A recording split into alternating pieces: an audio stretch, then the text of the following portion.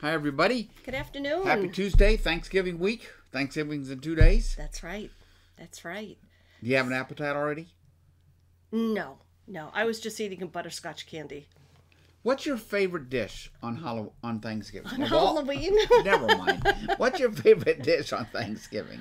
Um, like the one thing that you would you, you like especially that's always served on Thanksgiving. Sweet potatoes with lots of marshmallows that have been put onto the broiler. Yeah, that's like that's like an inch, an inch of sweet potatoes and three inches of marshmallow. That's about how it That's works, right? That goes under the broiler.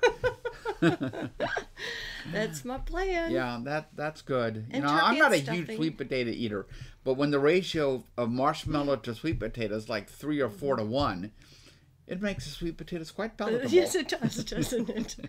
yes, that's that's always my my go-to to bring to someone's house on Thanksgiving, which we are going to do this year. Yes, You know, we're taking sweet things. potatoes and uh, pink fluff. Pink fluff. Another family classic, That's right. pink fluff. So And also, I was asked to bring chips and onion dip, which hey, I we are so easy. good. I, I did that really well. anyway, we have a small group today, but a good group because we realize that people, some people are traveling, some people are out shopping for their Thanksgiving meal and a whatever. beautiful, beautiful day out. beautiful day. So But you, you know, everybody always has the opportunity of watching this later. You yes, know, when it's convenient it's for on them. Facebook Live. It's on YouTube. Yes. It's podcasted. So we're creating each one of these for the ages. That's as right. They say, That's right, Patty? right. That is so right. And- so I did want to make Yeah. a little comment today, um, so that I don't forget to say say this. I told Scott. I don't know if he was just going to say it, but we don't know what's happening uh, lately with Facebook. Um, a number of times, sometimes while we're doing the class, Facebook kind of zones out for a second and it will say it's waiting to reconnect. I've got like it on my phone, my iPad, and my computer, and I usually only see it on my laptop or my desktop. Um, so, what I wanted to tell you guys to do if something happens, we're stopped for a minute, and all of a sudden you realize we've gone back to the very beginning, just just pull out of Facebook for just a minute and then re-click back in, and you should be right where we are. Hopefully, uh, people were telling me yesterday that was working for them because we lost a bunch of people, and some found their way back, some didn't. Some didn't know how to. So, all you really need to do is just kind of get off Facebook for just a second and then go right back in and click on Scott's Class Live.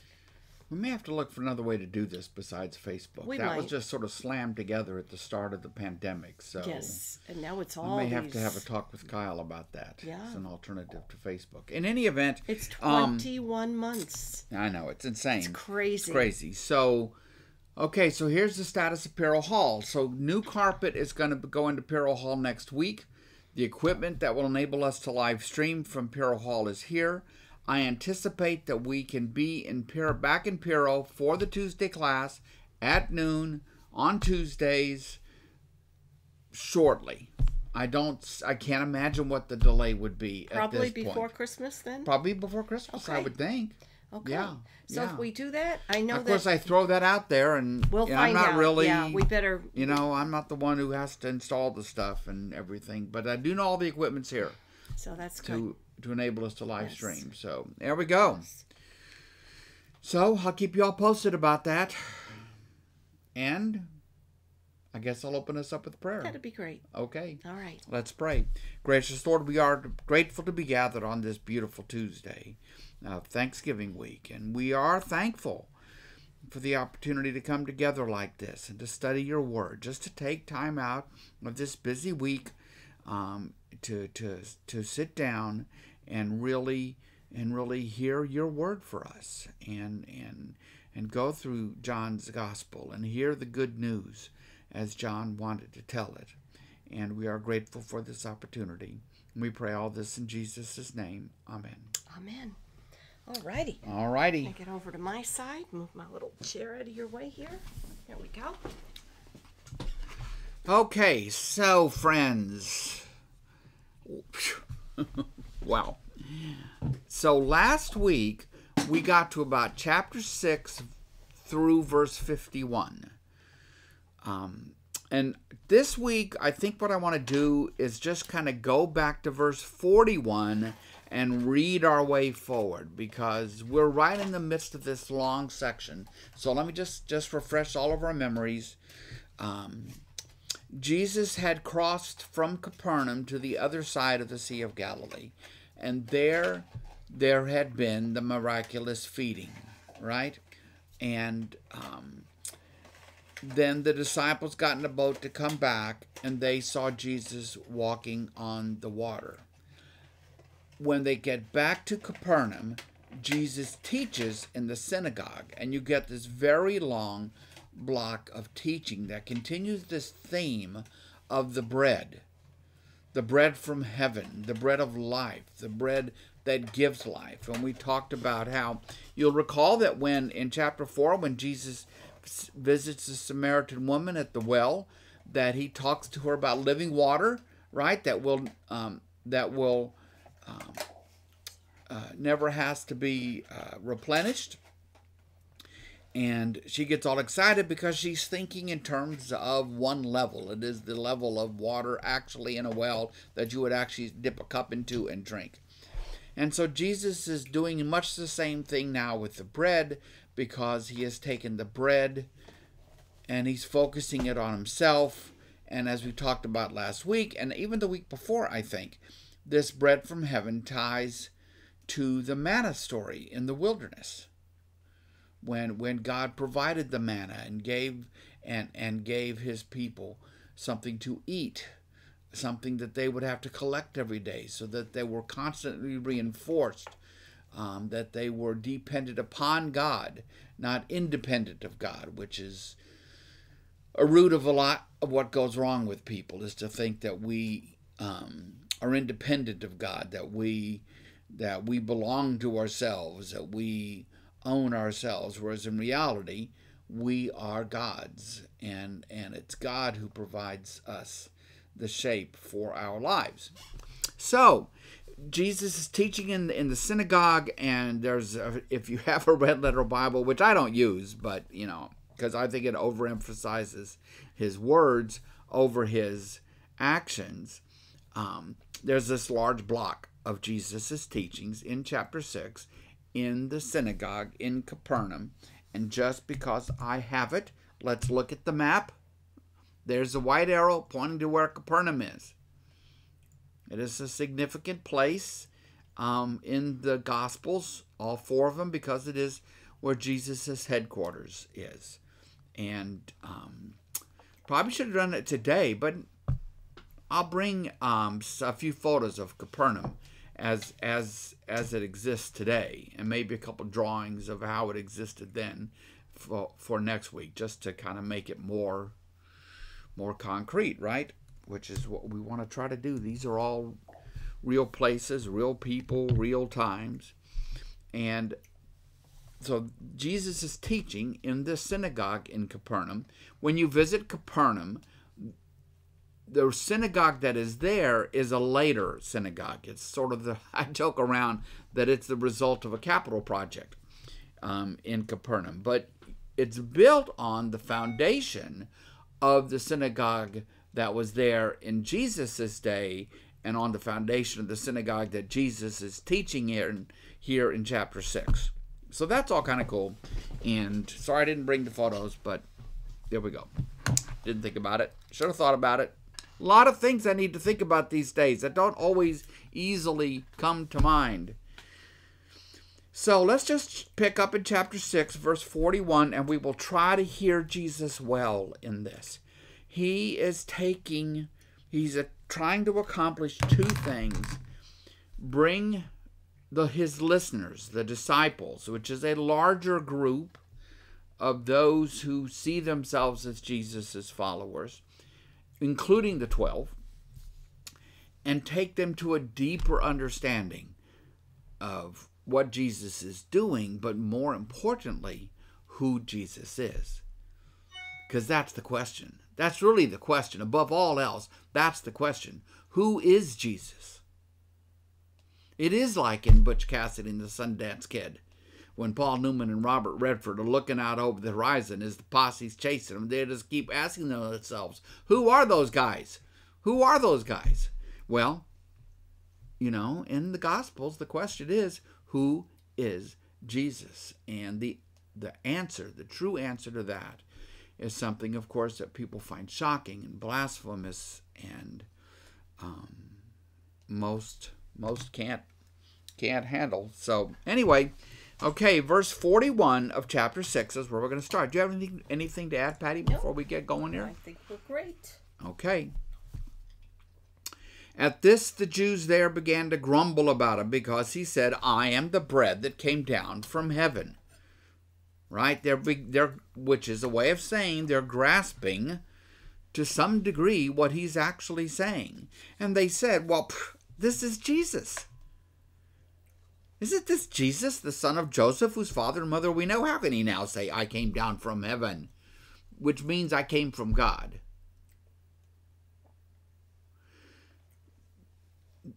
they grew up with him.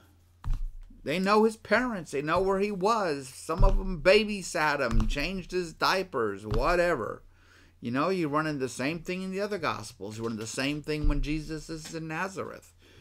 How could this be? We know who he is. The idea being that one from sent from God comes like nobody else has, right? It's not going to be born to uh, a young woman barely more than a girl from a village in Galilee. No, going to arrive on, I don't know, chariots coming out of the sky or something.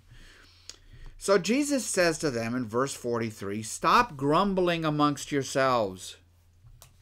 No one can come to me unless the Father who sent me draws them, persuades them, pulls them in. And I will raise them up at the last day. Right? That's that that that's tying it to the Jewish promise of the resurrection of the dead, the resurrection of the body. Then he goes on, it's written in the prophets, they will all be taught by God. It is God who is going to draw people in, it's God who will teach people the truth. The emphasis is on God's work. Everyone who has heard the Father and learned from him comes to me. Constant theme from Jesus this is exactly what he said to Nicodemus. If you if you understood the scriptures, if you really knew God, you would know what I'm telling you. You would understand what I'm telling you. Everyone who has heard the Father, really heard, you know, there's a big difference between, you know, uh, li- listening to words and really hearing everyone who has really heard and understood the Father and learned from him comes to me. No one has seen the Father except the one who is from God. Only he has seen the Father. Very truly I tell you, the one who believes the, in the truth of this that he is saying, in in who believes in um, in the one who has been sent by the Father. Very truly, I tell you, the one who believes has eternal life. You need to trust this, he says. It's so, it's true. Verse 47 Very truly, I tell you, the one who believes has eternal life. I am the bread of life. Bread sustains us. Bread is one of the most sustaining foods throughout human history in all its various shapes and forms. Today we eat a lot of bread that's not very wholesome and nutritious. But back in back in those days, bread was a fundamental part of the diet and would carry a lot of life-giving nutrition. But of course, it's just a loaf, so the it didn't keep people from dying. Didn't didn't wasn't anything like that.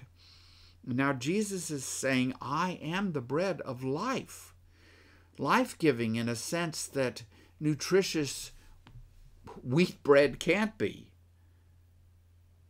I am the bread of life. Your ancestors ate the manna in the wilderness, yet they died. But here is the bread that comes down from heaven, dot, dot, dot, me, which anyone may eat and not die. And he's going to expand on this in a little bit, right? because he, he's taking them down to a down to a deeper level, and it's very, um, I think it's very very shocking in a way. and I'll try to help us with it. Here is the bread that comes down from heaven, which anyone may eat and not die. I am the living bread that came down from heaven. Whoever eats this bread will live forever. Jesus is life giving in Jesus' very being. As God is life giving in Jesus' very God is life giving in God's very being, and Jesus is God. You and I know this. We know this from the first verse of the first chapter of John's Gospel. In the beginning was the Word, and the Word was with God, and the Word was God. Verse 14. And the Word became flesh and dwelt among us. Wow. Okay. Became flesh and dwelt among us. I am the living bread that came down from heaven. Whoever eats this bread will live forever. This bread is my flesh. In other words, if Jesus is the Word become flesh, then his flesh carries carries the word. It's um, his flesh carries the presence of God. This bread is my flesh, which I will give looking ahead to his crucifixion, for the life of the world. He's going to give up that earthly body, let it be slain for, for the life of the world. So, of course, you know, I mean, people really are pretty literal, and these words, even when we read them 2,000 years after with 2,000 years of Christianity behind us, they're pretty challenging, I think.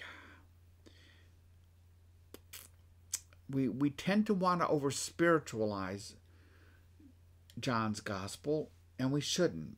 And that's why he uses, Jesus is using these very concrete words like flesh and eat. The, the eat word that Jesus uses is a word like chew or munch. it is. It is. I saw that. Chew or munch or something. It's very concrete. It's very down to earth. It's very everyday. Right? So, of course, in verse 52, it's not surprising. Then the Jews, this, again, this would really be, I think, the Jewish leaders, I guess. It's does get confusing in John sometimes as to who exactly he's referring to. How can this man give us his flesh to eat? Of course, you know, Jesus isn't calling any, anybody to a new cannibalistic existence. In the early years of the early decades of the Christian church, the Christians were accused of that by their pagan neighbors. There was a lot of whispering campaigns and so forth about the Christians and the strange things they did and how they would meet in the evenings, you know, and eat the body and drink the blood of this God that they worship. You can kind of understand where that would come from. Okay? So, how can this man give us his flesh to eat? And Jesus said to them, Very truly I tell you, unless you eat, unless you chew, unless you munch the flesh of the Son of Man and drink his blood, you have no life in you. Whoever eats my flesh and drinks my blood has eternal life, and I will raise them up at the last day, for my flesh is real food, and my blood is real drink. So. okay, you have to admit, that does sound kind of weird. I mean, we know we're Christians and we've known this and have the Bible and Bible studies and we know the whole metaphor. But for these people just standing there? Particularly because they're all Jews. And in the law of Moses, one of the one of the y'all have heard of kosher cooking, yes. right? Mm-hmm. Kosher meat. What's kosher meat? Kosher meat is meat that has been carefully prepared so that all the blood has been drained out of the slaughtered animal. That's the key thing about kosher meat. All the blood has been drained out.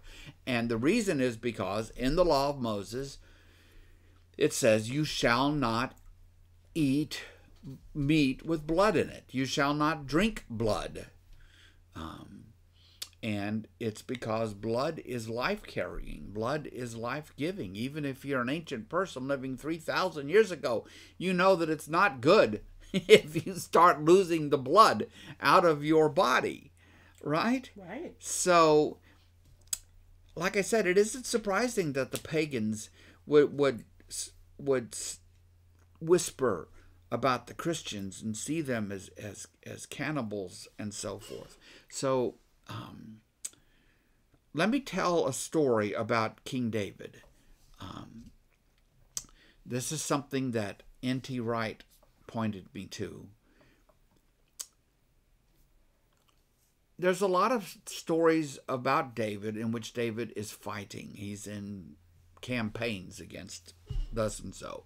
In one of his campaigns against the Philistines, he and his fighters are you know they're they're lined up and and the philistines are across from them. And david is dying of thirst just dying of thirst. And he gives voice to that. And he says oh my my my i sure do wish i had you know some of that sweet water from the well at bethlehem. It's just the best. Well three of his closest heroes his closest fighters they decide that they're going to make their way through the Philistine line and go get David this water. And they do. And they bring the water back. And David says, I'm not going to drink the blood of my friends. And what does he mean? And, and he pours the water out on the ground and won't drink it. Too much was risked he couldn't have imagined one of his closest friends, one of his, to have given his life so that David could have a drink of water from a well in Bethlehem. Right? Right. It, that's that's that's a good moment for David. Here, what is Jesus saying? Well, yes. Drink my blood. I am making this sacrifice for you. You need to participate in this. I am. This this this this metaphor of of giving up his flesh not really a metaphor, he's going to give up his body and and his blood. But it is a matter of participation in Christ and in what is coming. It is it is sacramental because Jesus is the Word. Jesus is the Word. And, and the Word became flesh. And Jesus is willingly going to sacrifice himself for, for the world, for these people, for you, and for me. And and and and so it what does he say at the Last Supper? He says, This is my body broken for you. This is my blood shed for you. Now, the, the argument that Christians have is how to understand this. So let's talk a minute about how it was understood for the first millennium and a half in the church. That and here's how it worked. You've probably heard of the Roman Catholic doctrine of transubstantiation. Big word, not that hard to understand. It, it's grounded in the philo- in the in the philosophy and teachings of Aristotle actually. And here's here's here's how to understand it if you go out to a pasture, if you went to Candy Sims's ranch out there in the country, they have horses. And you might look at these horses and you would see tall horses and short horses, big ones, small ones, white ones, brown ones, black horses. There'd be different colors, there'd be different sizes, rest, different personalities, but they would all share a certain something we might call horseness. Horseness. Horseness. The Yeah. essence of horses. The essence of horseness. the essence of horses. It's what, it's what makes all horses horses. What makes all horses horses? Well, their underlying horseness for Aristotle. Now, so when you look at the horses in Candy's pasture, you what you see are horses that have different sizes and shapes and colors and all the rest of it. Aristotle called this the horse's accidents. A C C I D E N S. No T. It's not an accident. He called it the accidents of the horse. The underlying horseness shared by all the horses, he called a the substance. The substance. So you could do the same thing with shirts, all the different kind of looking shirts, different sizes, colors, but they all share shirtness. You could do the same thing with, I don't know, most anything, I guess, right? So the doctrine that developed in the Christian church was that in the Eucharist, in in the in the communion done by the priest, when the priest comes to the point in that liturgy where the priest is blessing the food and, and you come to the to the I call it the special moment. The bread the substance of the bread and the substance of the wine is changed from breadness and wineness to the body and blood of Christ. But the accidents the way it looks and smells and it's colored or the wine is is is red or white or tastes this or that. That's left unchanged. The accidents is left unchanged but the substance is changed. And and because you are then actually eating the body and blood of Christ.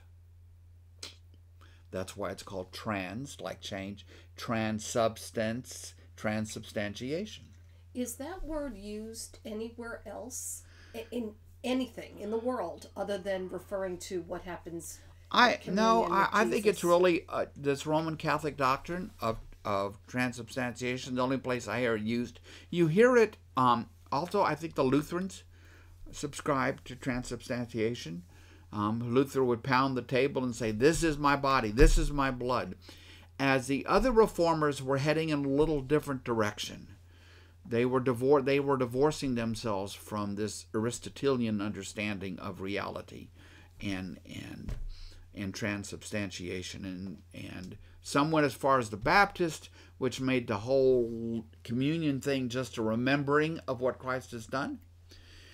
Methodists, of course, we are people of the extreme center. We Methodists are, um, like our Anglican and Episcopal forebears. And so for us, there is mystery. We, we proclaim the presence of Christ um, uh, in the elements of communion, but not to the extent of embracing this transubstantiation that the Catholics hold to.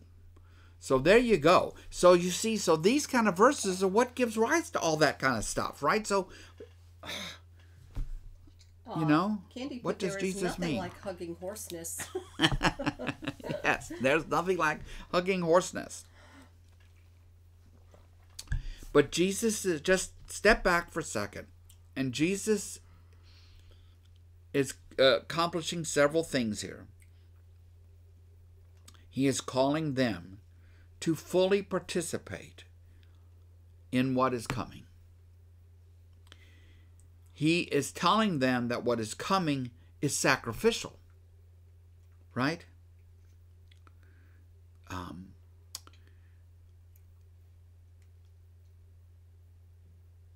and I think that John, who doesn't have a last, there's no Last Supper moment where where um where they're, this is my body, this is my blood moment at the Last Supper. It's the foot washing that John has. Uh, I think that John um, understands this, the the sacramental nature of what he is writing here. That that this Word made flesh, who is Jesus, is the sign, the symbol, and the actual presence of of God.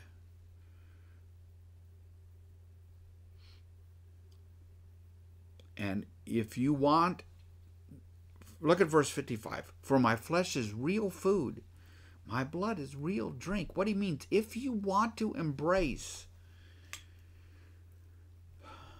if you want to embrace the life, the eternal life that Jesus is offering, you must embrace him, his faithfulness, his sacrifice, all the way to death, even death on a cross. It's it's it is in that sacrifice that he is going to make of himself when his goodness meets the evil powers of this world. It's his sacrifice that is going to enable the reconciliation of us with God, of us with God. Verse 56 Whoever eats my flesh and drinks my blood remains, abides in me, and I in them. These are words again of this participation. There's a lot in the New Testament about our participation in Christ, about our being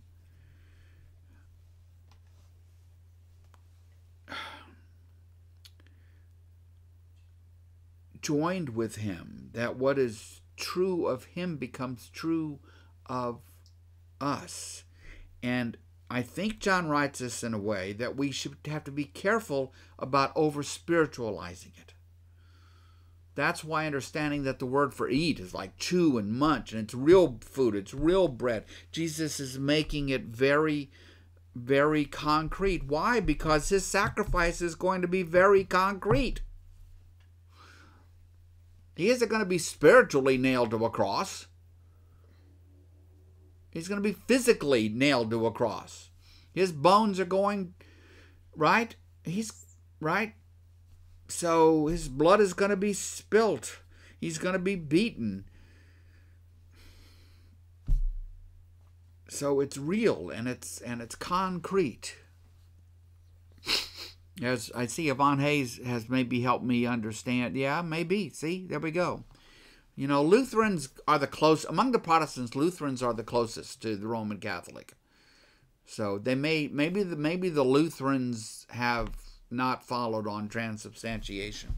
I don't know. The whole thing I think is difficult because I mean, who who follows Aristotle really in his teaching about horseness and we could go with everything that goes with it about the world of you know the existence of the forms and the rest of it so in any event I love what Yvonne put at the end. From a Catholic married to a Lutheran, both practicing Methodist. there we go because we get uh, Yes. we have catholic baptist couples catholic lutheran couples Yvonne, I am a former Catholic myself.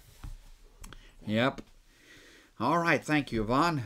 So, verse 57 Just as the living Father sent me, and I live because of the Father, so the one who feeds on me will live because of me.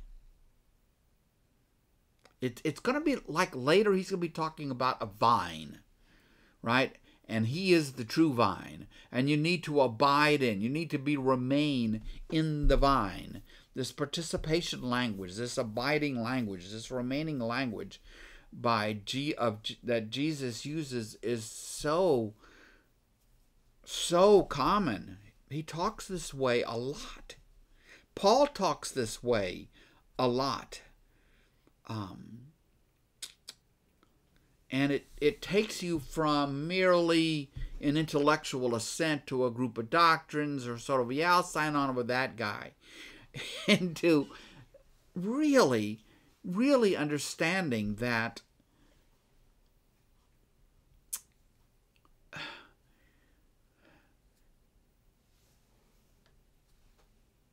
we we we are one with Christ. We are brothers and sisters with Christ, of Christ. It's it's it's mysterious. I I will acknowledge that it is. But it's certainly not about distance, is it? Away from. So he says in verse 58 This is the bread that came down from heaven.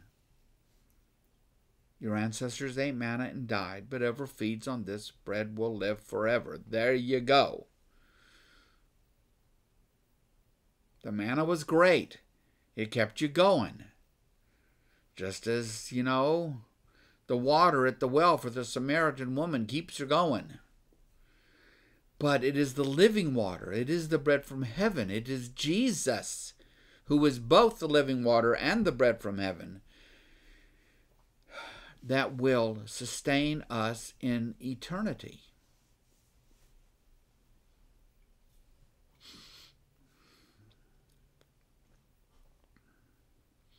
And verse 59, he said this while teaching in the synagogue in Capernaum. And wow, you can just imagine. And people were, and doesn't say he did it all in one day, but he's teaching in the synagogue there in Capernaum. But you can just imagine. People's heads are swimming. They don't know what to make of it. I'm sure many, many were deeply offended. Jews don't drink or eat blood. The meat is carefully prepared so that they don't. And here he is. What is he talking about? You know, we're I feel I feel like every time I come to a paragraph like this, I'm sort of stumbling my way through it. Because it's just we're struggling to understand the things of God. What does Jesus mean? What does he really mean here? It's not just metaphorical. The words he uses are not they're, they're, they're these are very concrete words. But he's not calling people to be cannibals. Anyway, there you go. This is this, this is the glory and the challenge of John's gospel. Verse 60 is no surprise. On hearing it, many of his disciples said, This is a hard teaching. Who can accept it? Who can buy this? Aware, yes, so when Patty? it says many of his disciples, this doesn't mean it's part of the twelve. It could be That's good point, you know, Patty. This is other this, people that are just there that day. yes, and just in general, people who had been who had were following Jesus and you know thinking to themselves, "I'm signing on for this." They're grumbling and they're going, "I don't understand. This is a hard teaching. This is a larger group than the 12." You know, one thing that you were saying Yeah. in, just in the last paragraph before that, which I don't think I've ever stopped to think about it at all. Always knowing, of course, that, you know, the body and blood of Jesus. But I never really stopped to think about it. Like, as you said, the big thing about being kosher is being this bloodless meat. Because, so, like, blood to these folks must have been pretty abhorrent to even think about, I'm guessing. It's unclean. So the fact that he is like the whole idea of it was had to be you know because it still is mind blowing to us except that we're used to it the whole thing of Jesus's body and blood, um, but wow, this hit them in a different level than I think it would hit us. We It do, would. We do with Yes. rare steak. People eat raw meat, steak tartare. They eat things like that. Yes. So to even talk about drinking the blood of, you know, Jesus. Yes. Oh my gosh! It it it, it just kind of opened my eyes to like a whole different thing as to what they were hearing. How this had to blow their minds. Like They had to be deeply talking about? they had to be deeply offended and, Yeah. and confused. Yes. and and not really grasp it. Jesus is trying to take them to a to a new place, mm-hmm. right? Yeah. And you have to participate in this in this new place, right? Yes. Because guess what? His flesh, his body will be given for them Yes. Physically. Physically. Physically. Physically. Physically. physically, not Mm-hmm. not just a spiritual idea, physically. Yep. Yeah. Just I just Yep. never. I don't know why it just never. Well, I- really I- I me think- like it just did now. Just thinking about how, um, yes, uh, you know, draining all the, the animals, every drop of blood out of them, and everything. Yep. Okay. Okay, so verse 60. On hearing this, many of his disciples said, Well, this is a hard teaching. Who can accept this? You know, I, after our last just talking about this, I, I think we get that. So, verse 61 aware that his disciples, this is more than the 12, were grumbling about this, Jesus said to them, Does this offend you? the answer would be yes. Verse 62 Then what if you see the Son of Man ascend to where he was before? This John doesn't have an ascension moment in his gospel. There's a reference to it later on, but here Jesus is saying to them, Well, if you think you're offended by this, you just wait until you see me ascending to heaven. If you see me ascending to God. Does this offend you? Then what if you see the Son of Man, who is Jesus? We've been through this. That is that is the most common way he refers to himself. Then what if you see the Son of Man ascend to where he was before? Because he said, I am the bread from heaven. Right? Then what if you see the Son of Man ascend to where he was before? We could go back, we won't, but we could go back and look at the end of the first chapter. Remember where the Son of Man is the one on whom the angels are um, ascending and descending in, in Jacob's ladder. Here it's the ascension. Verse 63 The Spirit gives life, the flesh counts for nothing. The Spirit, God's Spirit, gives life. You're not going to find eternal life in the things of this world. The words I've spoken to you, they are full of the Spirit and life. They're full of life. They're life giving words. The Word became flesh and dwelt among us. And the Word was with God, and the Word was God.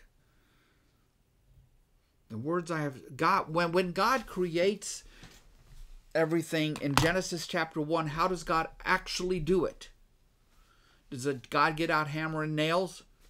Paintbrush? No, God speaks creation into existence. God said, Let there be light, and there was light. Right? God speaks creation into existence.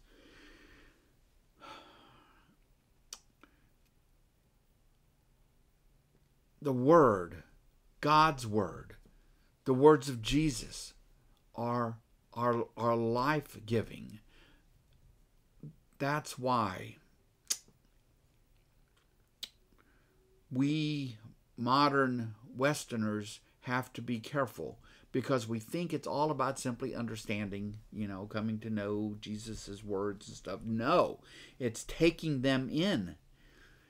They're life giving. They're life giving in themselves. The word of Jesus has life giving power. They're more than symbols on a page. The words have life giving power. They are life. They are full of the, the Spirit. And I think the NIV is right to capitalize Spirit as in the Holy Spirit here. They are full of the Spirit and life. Yet there's some of you who don't believe, Jesus goes on. There are some of you who don't believe.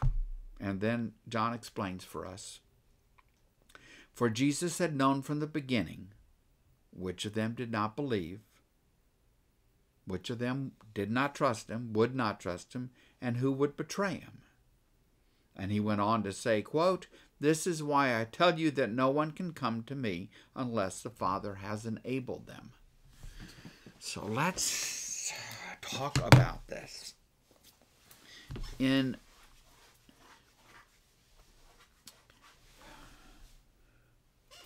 for John Calvin, this enabling that we're speaking of right here, this enabling is God choosing to draw certain people and simply not drawing others. Period. And so from the beginning, there were those who would be saved, and though there there are those who would not. And John Calvin, being John Calvin, you can build up a scriptural case for that. John Wesley said no. That that is that's not it, Mr. Calvin. you are you are coming at this wrongly. And Wesley spoke of this enabling as the result of prevenient grace. It, um, it is a grace poured out on everyone. That enables people to seek after God. Doesn't make them do it, but enables them to do it and doesn't suppress their ability to resist God. If so, God is in the end going to drag anybody in kicking and screaming. And so when you just talk about this a little bit with Calvin and Wesley, these, you know, these are Christian, well, I'm going to call it Christian intramural arguments, debates about how we should understand this. And, you know, Wesley wrote that he and Calvin were a hair hairbreadth apart. But you see, it's kind of a big, it's kind of a large hair in a way because this, all the emphasis is on what God does. But Wesley had, Wesley understood, I think rightly, that freedom of choice has to remain. Because what does God want? The ultimate goal is for us to love Him. And, and for love to be love, it has to be freely given. So, that is the fountain of countless arguments among Christians. Some of you may have been part of Monday night, my Monday night class, and you might remember our resident Calvinist, John Lang, who always wanted to talk about these things. Um, uh, and uh, John passed away last week. He had he came down with cancer. Um, he passed away. Like he they had he and Linda had moved away to be closer to their kids, which was which was good. I don't think he was sick when he did that, but he didn't confide in me if he was. But but John passed away. But I will always remember John as you know one of those. He was a he oh he would laugh about it. He was a jovial Calvinist. Um, we hope he had all those things written down yeah. on the index so I, cards. so I picture him sitting down right now, cards. monopolizing Paul's and Jesus's time and everything to say, okay, I want to talk about this. So there we go. So Jesus says, This is why I told you that no one can come to me unless the Father has enabled them. True, true, true. When think of the parable of the lost sheep. Does the sheep find Jesus, or does Jesus in the parable? Does the she- does the sheep find does the lost sheep find the shepherd, or does the shepherd find the lost sheep? The shepherd finds the lost sheep. It's about God's initiative, God's God seeking after us. We are so inclined to make it about us. We are so inclined to make it about what we do. And and I think too way too much of the time we fail to we get we, we get we get it wrong and we make it about less about what God is doing and more about what we're doing. And that is never what I mean to say. Never. It is about what God is doing. Well, any thoughts or questions about all that, Patty? No, Over there? Anybody weighing in? nope, nope. We're kind of quiet right now. Doug is telling us. I that's right. They were watching um, They were watching our class on Sunday morning, ship. sipping on mimosas.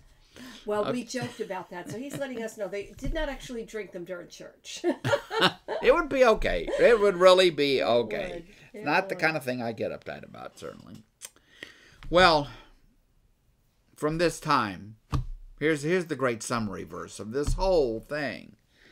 From this time, many of his disciples turned back and no longer followed him.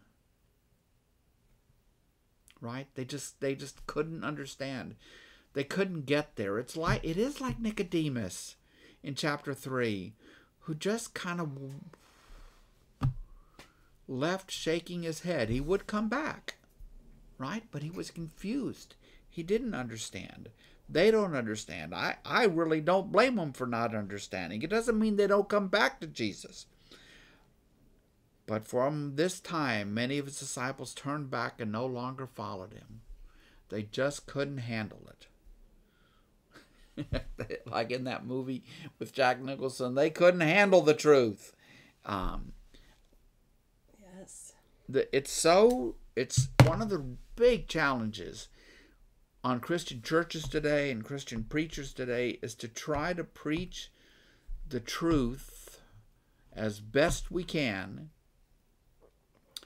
to stay true to the gospel, to stay, true to scripture as best we can, knowing we our understandings are limited and have failings and all the rest of it. I get all those qualifiers. But to try to to to preach the truth of the gospel and the truth revealed in scripture and not preach what people want to hear. Right?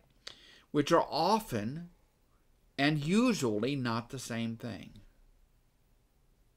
You you can hear, you know, in the business world you can, you know, if you're selling soap, you can talk about people's perceived need for what they want out of soap. Well, in church we can't really talk about people's perceived need we have to talk about what they really need, not what they think they need, what they what what they really need, and that's why pastors are shepherds.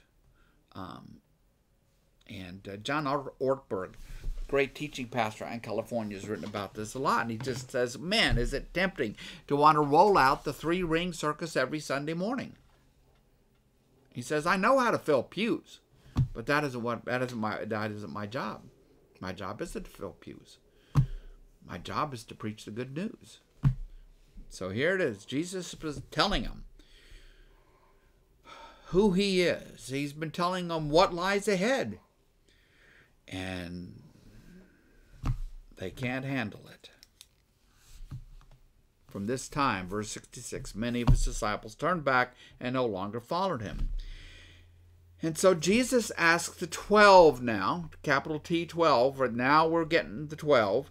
You don't want to leave too, do you? And Simon Peter answered him, Lord, to whom shall we go? You have the words of eternal life. We have come to believe and to know that you are the Holy One of God, which is the title that has a lot of meaning. It could be used to refer to a person a few times or to God even, because of course God God is the Holy One. But this verse doesn't pack quite as much punch as it does in the synoptic gospels because it's a huge moment when Peter says to Jesus, You are the Messiah. In this gospel, we've known that Ming Andrews says, pronounces him Messiah in the first chapter. So there's kind of a lot more of this kind of thing. But of course, Peter is right. Lord, to whom shall we go? Where else would you go for the truth? You have the words of eternal life. Who else has the words of eternal life?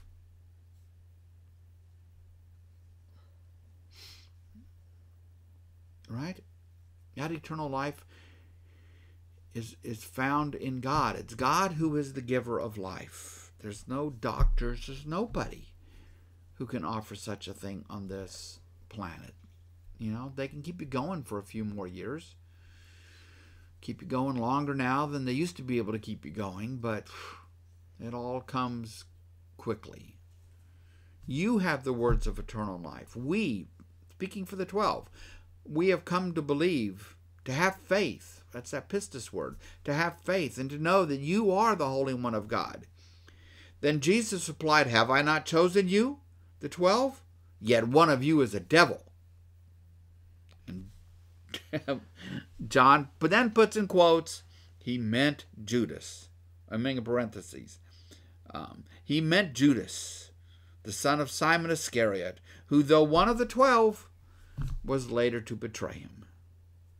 So Jesus Jesus sees the truth. And I guess we could have a long discussion about why Jesus called Judas. We could have a long discussion about is it preordained that Judas will betray Jesus and over something something that he has no control over? I would resist that idea strongly. But Jesus knows Judas's heart. Maybe he called Judas in hopes that Judas would change, like the Grinch changed. So, anyway, okay, so. Anything over there, Patty? No, honey. Okay, so we're going to go into chapter 7 for a bit here. So we're going to come to the Festival of Tabernacles. We're going to I'll talk about it when we get there. Okay. So after this, Jesus went around in Galilee. Let me put the map up again. There we go. He is staying up there in Galilee in the north. Right? Um, Galilee. So he's working in. You can't actually see me move my little mouse around, can you? No, of course not. what am I doing? in the north, working in the hills, and Nazareth is to the west, and visiting these places. That's, you know, that's where he's going, and he's teaching. Probably a lot of time around the Sea of Galilee on the western uh, shore because it was easier to walk around the shore than it was to try to get through these hills. Um, so after this, Jesus went around in Galilee. He did not want to go about in Judea to the south around Jerusalem down there because the Jewish leaders there were looking for a way to kill him. Galilee is far enough from, from Jerusalem that it was a place where a lot of like rebel little small rebel groups and other things would form because they weren't under the immediate eye of the Jewish leaders, of the priests and, and the temple guards and the rest of it. So Jesus is staying in Galilee. But when the Jewish festival of tabernacles was near, Jesus' brothers said to him, Leave Galilee and go to Judea, so that your disciples there may see the works you do. So let's talk. They want him to go, and he should. Let me explain. There are three big festivals in Judaism there is Passover in the spring, it is during Passover, in a few years, a couple of years from here, that Jesus is crucified. There is um, so Passover is in the spring. There is Pentecost, which is in the early summer, and there is Tabernacles or booths, it's called, which happens in the fall. And what we're talking about is that third festival. A Jewish man was expected to come to Jerusalem for all three every year. The tab- the festival of tabernacles or booths was a festival built around remembering that they were once nomads that they were once an alien people themselves that they were wanderers. And even today during the festival of tabernacles. Many jewish families who live in israel will and are devout, and I think many who are not devout but just follow the festivals, follow this festival at least the way lots and lots of non Christians, secular people put up Christmas trees. They go out and in their backyard they put up a tent, and the family lives in this tent for like the whole festival, right? Because that's what it is. It's a festival of tents, tabernacles, booths. That's the idea. Remembering this time long past well, not that long, when they were nomads, because, of course, even though in the day of Jesus they had been back in the land for hundreds of years, It's not long after Jesus before the Jews are basically gone from the land and don't begin to return to the land until the 19th century and early 20th century.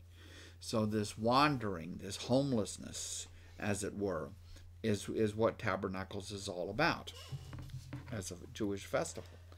And Jesus' brothers, these for us Protestants, these are his half brothers.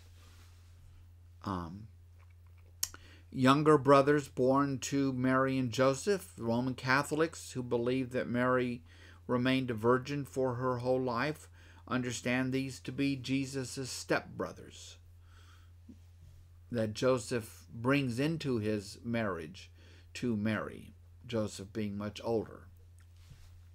I'm going to ask him someday. Joseph, uh, Joseph, that is. So anyway, so Jesus' brothers say to Jesus, Leave Galilee, go to Judea, let people see what you're doing. Verse 4 No one wants to become a public figure. No one who wants to become a public figure acts in secret.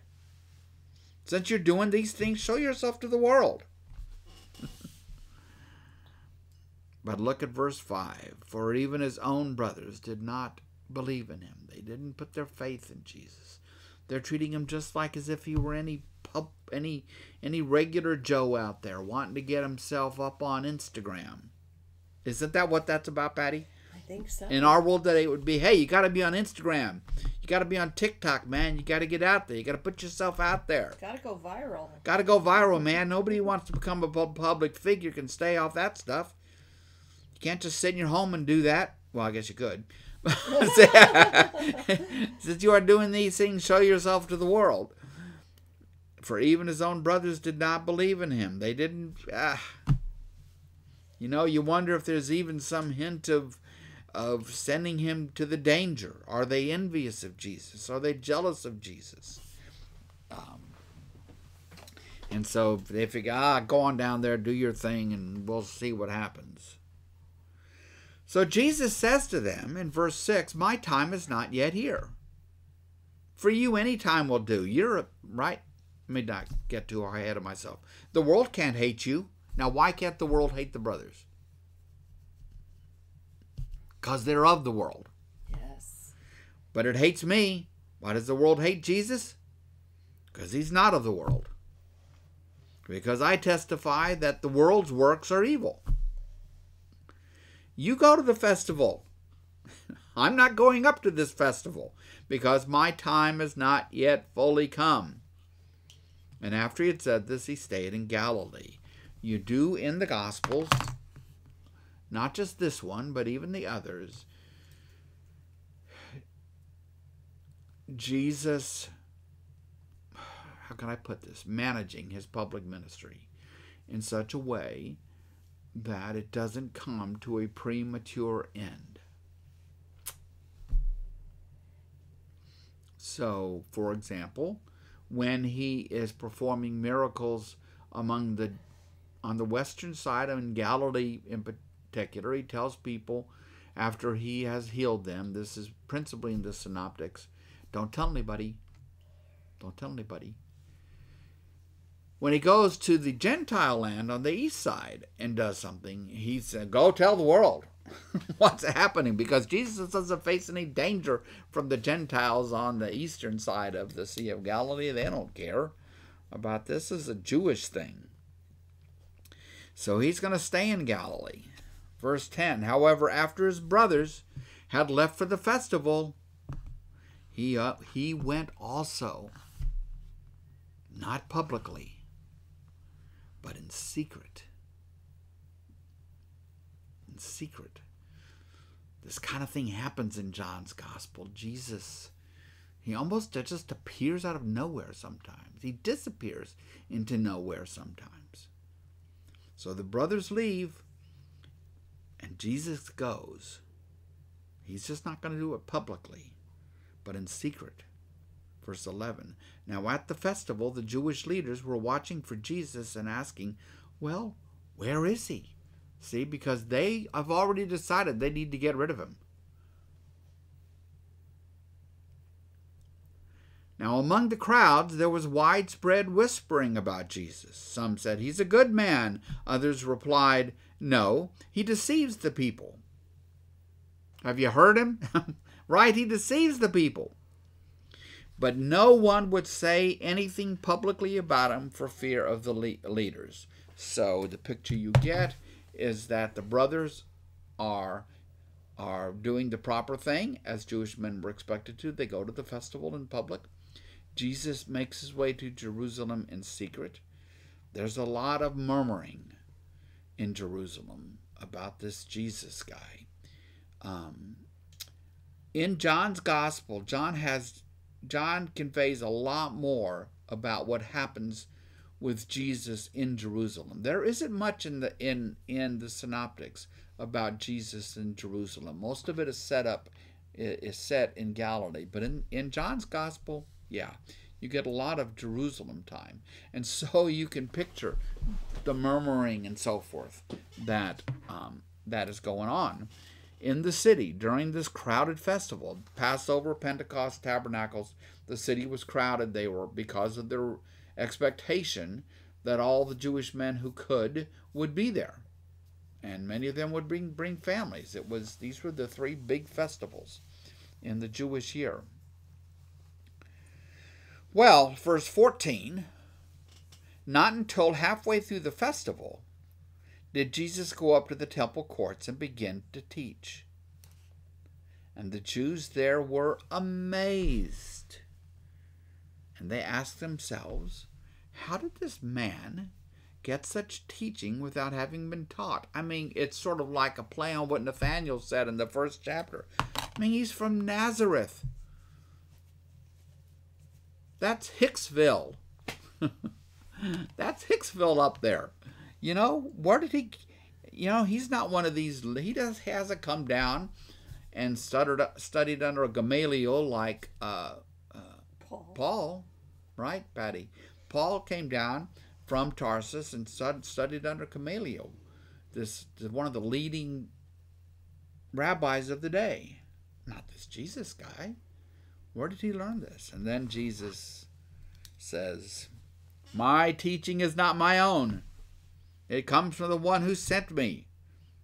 Anyone who chooses to do the will of God will find out whether my teaching comes from God or whether I speak on my own. Whoever speaks on their own does so to gain personal glory. But he who seeks the glory of the one who sent him is a man of truth. There is nothing false about him. Has not Moses given you the law? Yet not one of you keeps the law. Why are you trying to kill me? And the crowd answers him, You are demon possessed. Who's trying to kill you? Well, Jesus knows that the leaders are whispering among themselves and they are determining that, yeah, he's going to have to go. You're demon possessed, the crowd answered. Who's trying to kill you? So we're, I'm about to end it. We'll just look, look at verse 21. Jesus said to them, I did one miracle, and you are all amazed. And what is what do you think that miracle? What is that one miracle? You got to think back in the gospel. This there's the, he's he's gone to Jerusalem and he does a miracle, and it's in John's gospel, and that's the miracle he is doubtlessly referring to. I did one miracle, and you are all just amazed, agog. Remember when he went to the pools of Bethesda? Yes. With the guy had been crippled for 38 years? So, right away, when Jesus refers to that miracle, there are two issues on the table. One is the miracle doing itself, right? But as you recall, he did it on the Sabbath and told the man to pick up his mat and walk away on the Sabbath. And so to, uh, so far as the Jewish leaders are concerned, Jesus broke the Sabbath law. So when we come back together next Tuesday, we'll just kind of pick it up here as Jesus is now confronting the Jewish leaders and the crowds in Jerusalem in this slowly building confrontation that we're in in the midst of. So, anything else over there, Patty? Anybody got any final word for us? No. No? final word today. Okay. final word. All right. Well, All good. all good. All good. Beautiful day, beautiful week. We, we lost anybody today, which is a good number thing. stayed pretty steady. It's just it's hard to know what goes wrong with Facebook sometimes. It is. Oh, there I am. There we are. There's room for you here. There is. There's room for me at the end. Yes. I just put my sweater on. It's Really? chilly back in here. really? Yeah. Huh. Yeah. I kind of work up a sweat. I know this. you're a guy. Yeah. Yeah. Plus that. Plus that. Thank you guys for being with us today. We really hope every one of you has a lovely Thanksgiving. Absolutely. Be safe, please, if you're driving out of town or even if you're driving in town. Um, in the last few days that I've been out, things have been a little bit crazy. Of course, people are shopping for Thanksgiving food, but already people are, I think, are getting concerned about not having Christmas stuff and shipping Right. problems, and so please have a wonderful Thanksgiving. We plan on doing so, um, eating with one of our sons and a whole bunch of uh, of their friends. And uh, our poor Robbie is still at home with Savannah as he has COVID after his two vaccines. So. So uh, Savannah did not get it, and they're going to have a nice, quiet little Thanksgiving amongst Yes. themselves. So, please join me in prayer right now.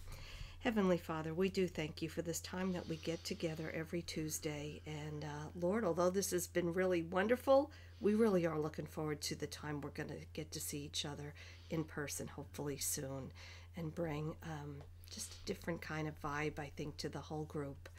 Uh, of course, we'll still be meeting online at the same time, of course. Um, we just pray, Lord, that your Holy Spirit would lift up all of the joys and the concerns, God, that we have on our heart right now to you, Lord. We pray, God, that this is a peaceful week in our country and in the world. And we do continue, Lord, to pray for all of those who were affected by the tragedy this um, weekend in Wisconsin. We just pray for it, Lord. We pray for peace in our nation. We pray for the kind of peace, God, that only you can give.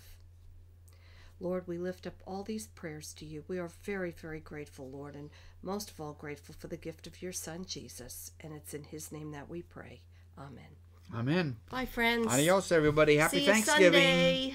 See you Sunday if you're Yes, in town. Sunday. If not, tell me where you are when you check in online. Yeah. Yes. So We- I could be jealous. I we- could have Facebook we envy. May, we may start asking like who's furthest away or something, yeah, right? Who yeah, knows? Yeah, because? Doug knows. Last week, uh, we were so happy for you guys. You know that, but Scott always calls it, Patty, you've got Facebook envy. So I have Facebook envy of being on that cruise ship. Yep. Have Bye bye, everybody. everybody. Adios. Bye bye.